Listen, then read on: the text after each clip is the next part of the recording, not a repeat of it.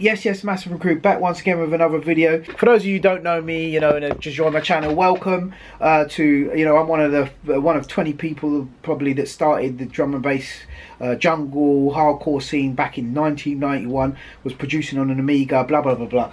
And today I'm going to show you my little tech haul that I got for the, uh, for the setup. Uh, I got this uh, TP-Link 5-port gigabit switch. This is to try and speed up the internet connection in here to try and help with the live streams. Again I do apologize with uh, the live streams the way they've been going. We've been trying to get this thing configured.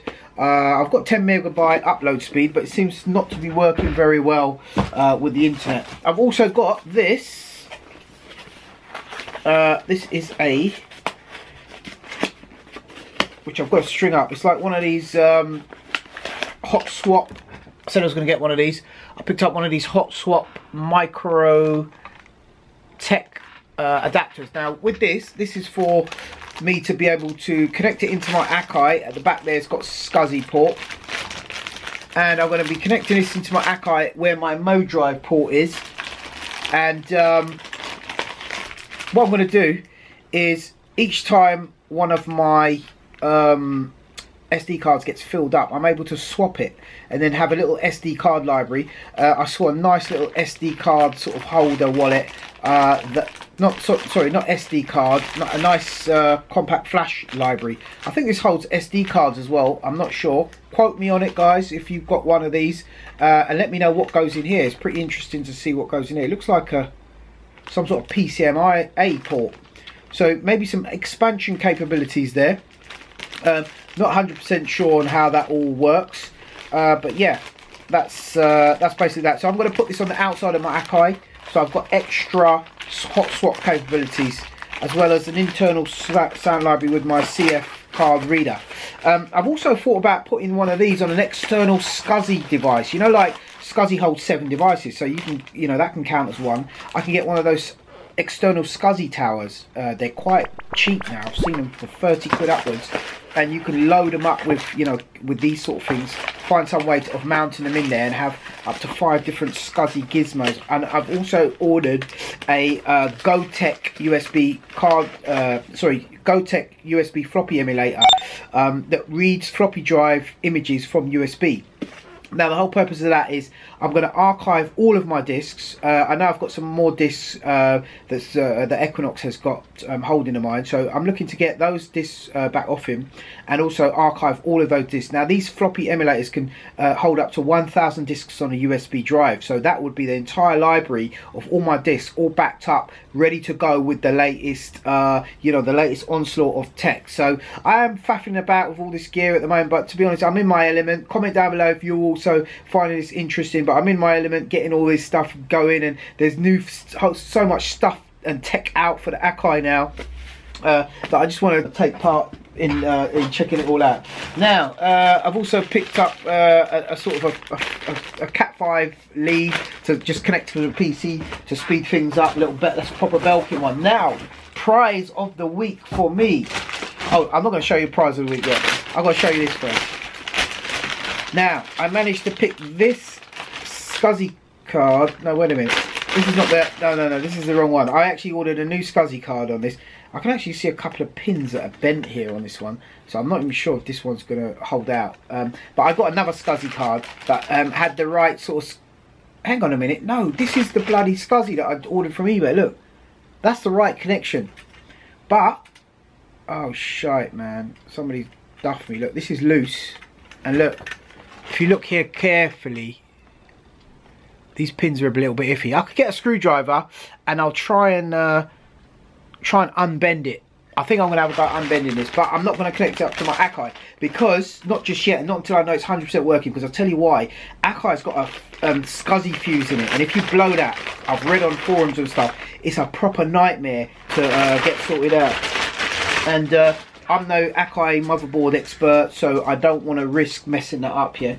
Now, prize of the week it has finally arrived, guys.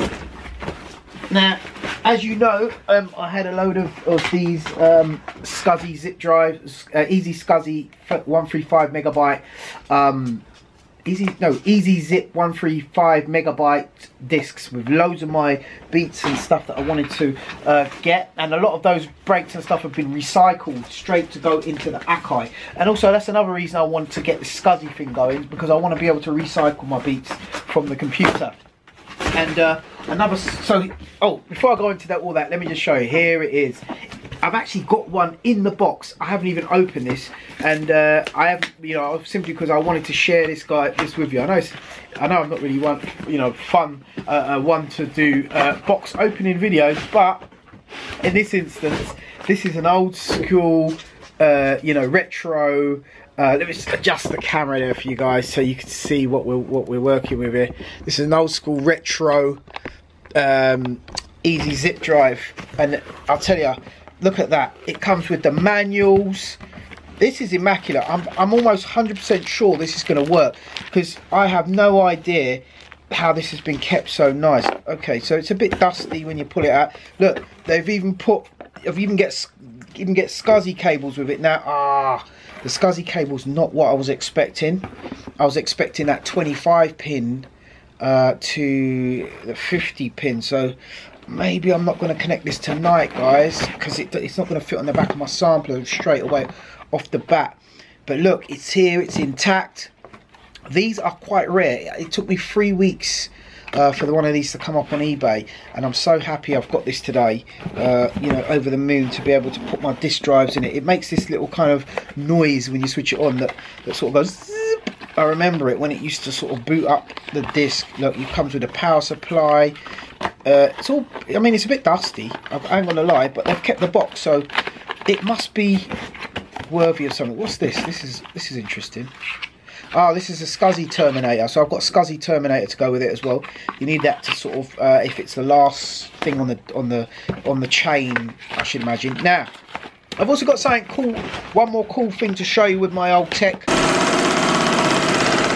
Just want to say a big shout out to all my fans out there. Also, I did announce the winner of this in one of my videos. I'm not going to say which one. I assume whoever has won it is not a regular viewer of my videos. So I would like this to go to somebody who actually does watch my videos on a regular basis and hasn't just subscribed just to win this. So I'm going to leave this for another couple of weeks. And if they don't, if they don't claim it, I am going to give it away again. So if you want a chance to win this, guys, smash the like button. And if it gets to 100 likes, I'm going to announce the winner from a random person who's commented down below on this video for this lovely M Audio M Track 2 times 2 card.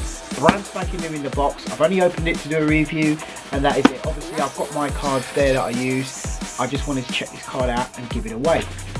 So, to show we're serious, without further ado, we are going to give away our microphone.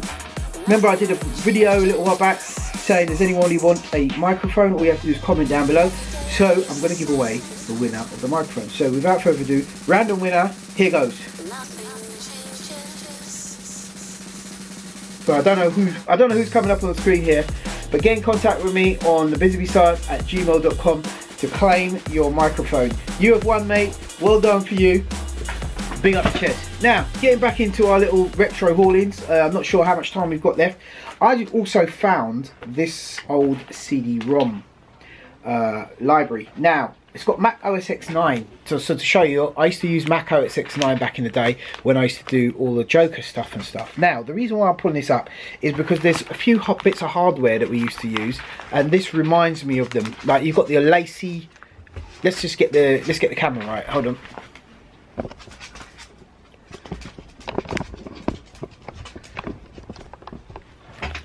Okay, so you've got your LaCie. This is this is like a LaCie. Uh, crooked. Uh, level, right. This is like a LaCie uh, disc where I used to use for burning. It's on Windows. But the main thing I wanted to show you is this. I found SCSI adapters. SCSI adapters for Mac and PC.